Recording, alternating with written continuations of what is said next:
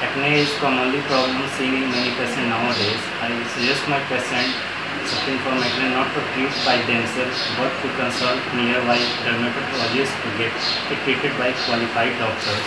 Because acne is nowadays common problem. If they treat by themselves, it creates scary problem in them.